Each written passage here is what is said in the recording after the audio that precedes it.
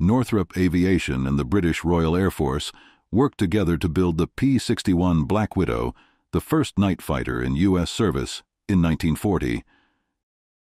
It was the first aircraft to deploy radar, and on the final night of World War II, it was involved in the final verified air to air kill.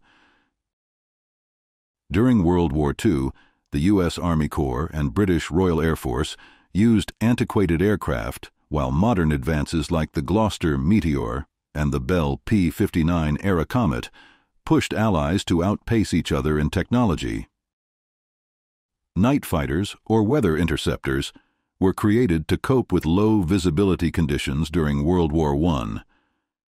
Founded in 1939, Northrop Aircraft Corporation, a California based company, was given contracts to create the world's first night fighter due to its ability to circle guarded zones slowly, intercept attackers at high speeds, and carry enough ammunition to bring down large bombers. In November 1940, work on the P 61 Black Widow project began, aiming to be a sleek, enigmatic aircraft with a 50 foot and 66 foot wingspan, equipped with radar and airborne intercept capabilities, and a strong combatant at night. The P 61 was a twin boom aircraft with a radar engineer and gunner who managed a small inbuilt airborne interceptor. The interceptor reduced ground echoes and increased precision by sweeping the sky with a knife like beam using a spinning 30 inch scanner receiver dish antenna. The Black Widow's aircraft had four 20 mm Hispano M2 cannons and four 50 caliber Browning machine guns, which could be remotely controlled. The aircraft had a maximum speed of 366 miles per hour and was propelled by two Pratt & Whitney 2800 double wasp radial engines, each with 2000 horsepower. Despite its 360 degree rotation and 90 degree coverage, the P 61 often struggled with accurate aiming. The P 61 was a stealthy aircraft with retractable flaps, tricycle landing gear, and an internal fuel capacity of 646 gallons. It weighed over 29,000 pounds in combat and had a glossy black coating on its metal armor. However, anti aircraft searchlights failed to locate it in 80% of flights. The P 61 was painted deep black starting in February 1944, making it a stealthy aircraft. A key aircraft of World War II, the P 61 made its premiere in January 1944 with a stunning midnight flypast over the Los Angeles Coliseum. The 422nd Night Fighter Unit was the first unit in Europe to fly the Black Widow on May 23, 1944. One month later, the 425th Squadron got theirs, but by then both were too late to take part in the D Day assault on June 6. Targeting the dreaded German Fa 1 buzz bomb in the Mediterranean was the Black Widow's maiden mission. After receiving its P 61, 414 Squadron participated in the Battle of the Bulge alongside the foreign 22nd Squadron. When Daisy May Black Widow, piloted by Lieutenant Van New Winder, came upon a twin engine Messerschmitt 410 in 1944, it became clear that the P 61 was becoming outdated. Winder made an effort to engage and pursue the adversary but the ME 410 outran the P 61 at 400 miles per hour, making Winder appear sluggish.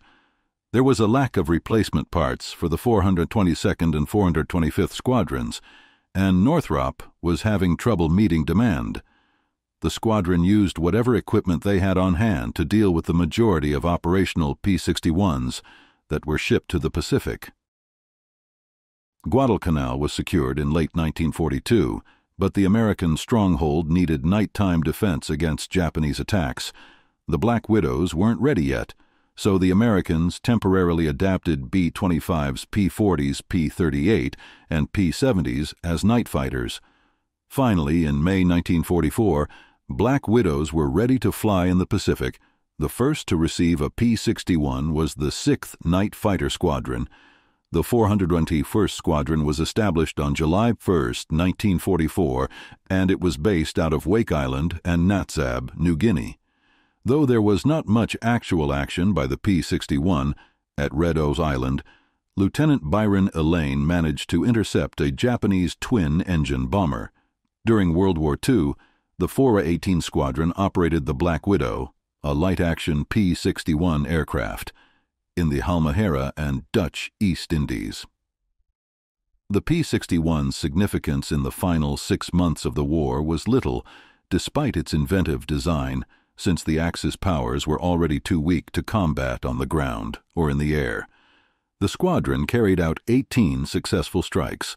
The most successful operation involved destroying three Kawasaki Ki-61s in one night. The most well-known Black Widow in the world is Captain Lee Kendall's P-61 Lady in the Dark.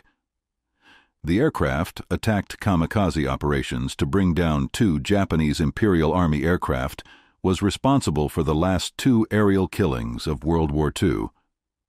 Captain Kendall followed the aircraft hard, to the point where they crashed on their own. It seems fitting that on two of its most significant missions, the P-61 failed to achieve a hit. Arriving late in the Second World War, the P-61 was already out of date in Europe, to address these problems, Northrop engineers added turbochargers, enhanced the remote control turret, and redesigned the aerial intercept radar. Still, the airplane was moving too slowly. The Black Widow was consigned to the reserves as a training aircraft after the British Mosquito Mk 17 proven to be more effective in engagements across Europe. The Black Widow, which arrived late, participated in battle in all war theaters and destroyed 18 German V 1 buzz bombs and 127 enemy aircraft. Following the conflict, the Army Air Force, Navy, Weather Bureau, and NASA conducted a collaborative research using the Black Widow to investigate thunderstorms and mitigate the risk to military and civilian aircraft. The Black Widow's existence was momentarily prolonged by the project and other utility tasks, but it was formally decommissioned in 1954. To watch more videos on American bombers, click the link on the left. To watch more than two dozen videos on German aircrafts, click the link on the right. Thanks for watching and don't forget to subscribe.